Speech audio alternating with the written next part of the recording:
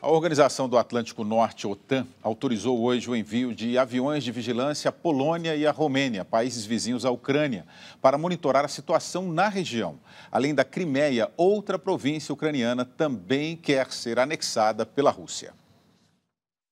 A Guarda de Fronteira da Ucrânia divulgou imagens do que seriam tropas russas cavando trincheiras ao redor de Armiask.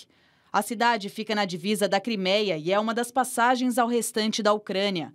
Os militares também disseram que o quartel das Forças Armadas na região foi alvo de tiros. Mais cedo, tropas pró-russas tomaram o controle de um hospital militar na capital regional da Crimeia, Simferopol. As hostilidades acontecem em meio aos preparativos para o referendo de domingo, que vai decidir se a Crimeia, onde a maioria da população é de origem russa, passará ao controle de Moscou.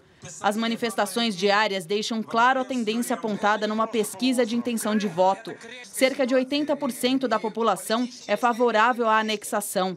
O novo governo ucraniano pede o cancelamento da consulta popular.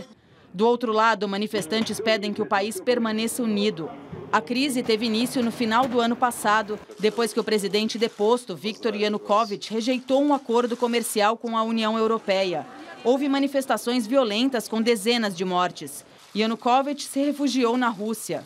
Outra região da Ucrânia, Donetsk, também de maioria russa, enfrentou protestos hoje defendendo a volta do domínio do Kremlin.